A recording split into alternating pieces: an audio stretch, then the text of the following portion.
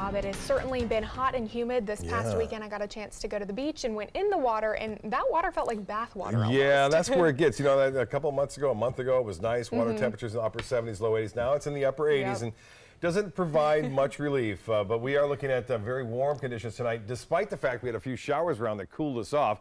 The water temperature is warm, and that means uh, summer is uh, right around the corner. In fact, it starts Thursday officially. Uh, I had a chance to talk to the CERT program of Lakewood Ranch, an excellent program out there tonight. Over 100 people on attendance at the town center there in Lakewood Ranch. Beautiful crowd.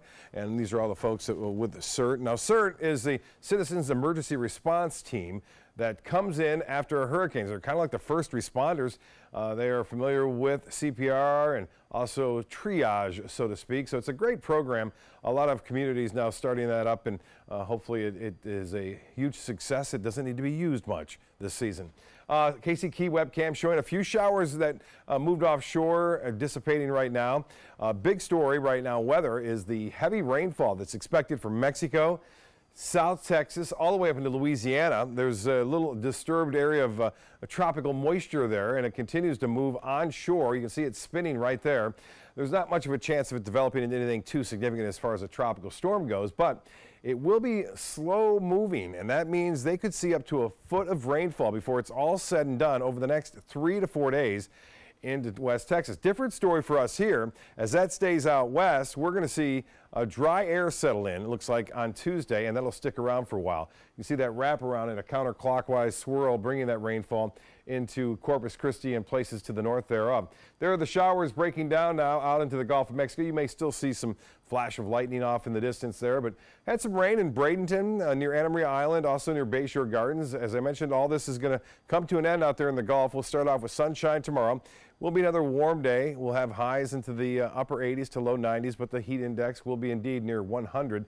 Not quite as hot as uh, today, but still there. A few showers expected. Now, even though the dry air will be in place, there's always one or two showers that'll pop up in that kind of situation, which will bring a few isolated showers. And the rain chance very small, though 20% Tuesday, Wednesday, and even into Thursday as a result of high pressure at the surface and that dry air aloft.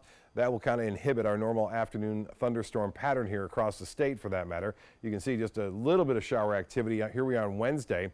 Uh, normally that's lit up during this time of year, but not the case uh, as a result of that drier air that will be in place. Temperatures currently warm across west central Florida and into North Florida. 81 now in Tallahassee and temperatures all into the low 80s with the exception of Highlands Park or Highlands um, uh, County now at Avon Park 79. Look at the water temperature.